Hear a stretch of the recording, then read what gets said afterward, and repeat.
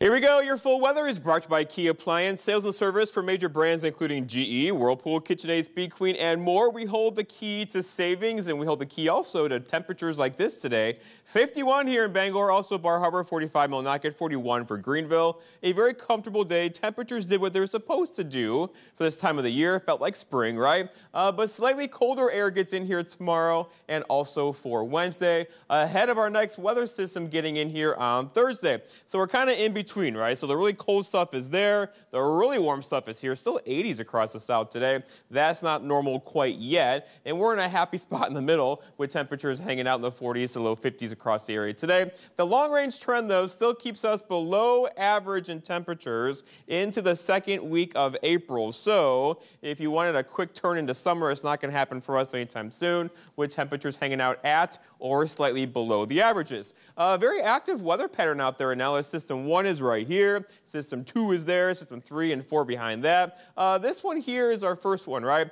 That'll likely go to our south this evening. However, it's going to be just close enough here to give us a couple of sprinkles, maybe a flurry out there tonight. That won't be a big deal. Then we'll stay dry throughout the day tomorrow, also for Wednesday, before our next weather system gets in here on Thursday.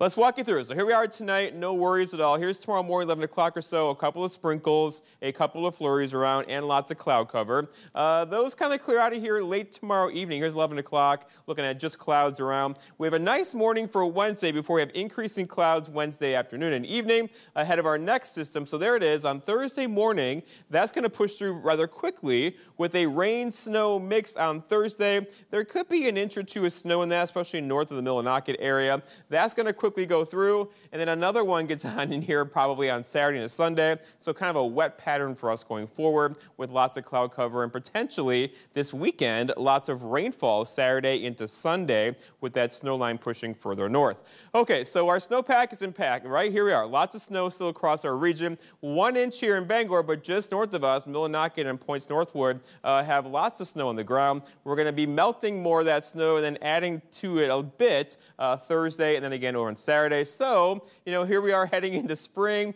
uh, with some more snow in the forecast, but we're used to that around here, of course, as you know. Our forecast for tonight, though, looking at mostly cloudy skies, a flurry or a sprinkle can't be ruled out with low temperatures down near 30. For tomorrow, a couple of sprinkles, a couple of flurries, highs uh, slightly colder than today with highs near 45 and a north breeze around 5. And then looking ahead, your five-day forecast shows tomorrow 45, lots of clouds, maybe a flurry or sprinkle. Wednesday, quiet, partly cloudy, 46. And then look at Thursday, a rain-snow mix gets in here, the high only of 38 and lows well below freezing. Uh, some recovery Friday before our next system gets in here on Saturday. It's a wet one with potentially heavy rain this weekend. Beth?